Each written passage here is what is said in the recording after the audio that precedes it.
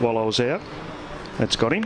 3 2 pitch, swung on, driven deep to right field, oh! and that's the game tying, or excuse me, the ABL tying 15th home run of the season for Kellin Deglan.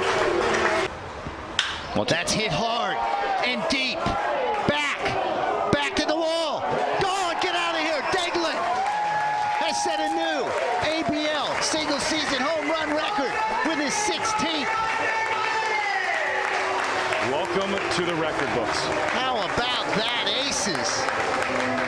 Jump out to a 9-5 lead. Kellin Deglan, take a bow.